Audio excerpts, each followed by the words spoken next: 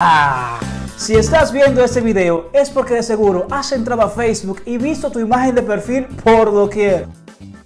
Pues has entrado y visto las publicaciones con tu foto de perfil de cientos de usuarios que a veces ni siquiera conoces, con un texto como, bueno, el de la foto lo tiene chiquito, la de la imagen tiene coronavirus, la de la foto es mi amante, el de la foto vende droga, la de la foto bonita, pero tiene mala ortografía.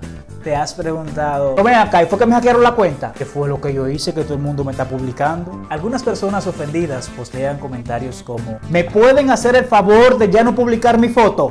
Ya tuve problemas con mi marido. Andan diciendo que vendo drogas. Yo soy Anderson Mercedes y eso es A lo Culto.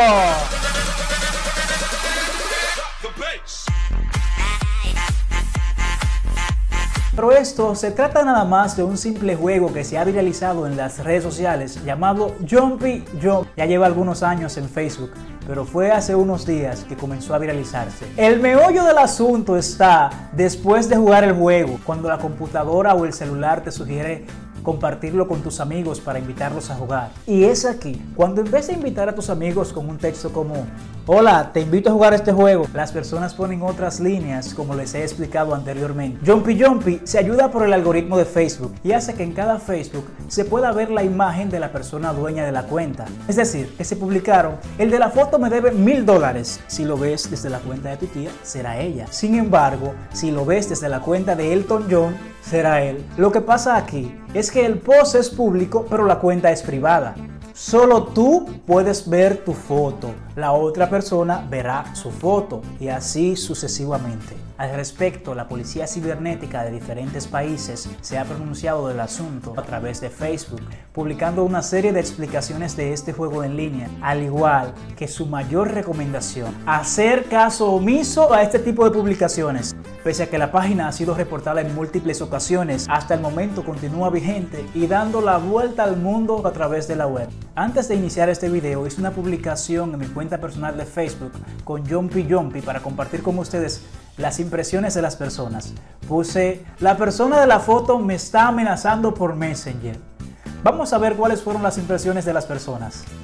Bueno, y este fue el post que hice a modo de experimento y para compartir la experiencia con ustedes. Publiqué, esta persona me ha estado amenazando por Messenger. Dice alguien, quiero que dejen el juego conmigo.